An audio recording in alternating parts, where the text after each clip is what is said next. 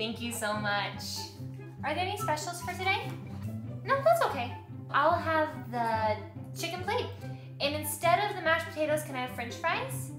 And then a side of fruit would be great. Thank you, I appreciate it.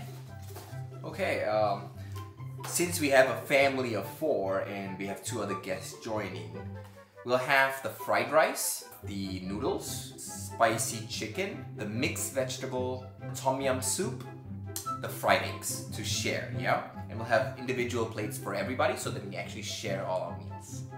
Thank you, yeah, thank you. Wait, we're sharing our food? Yep,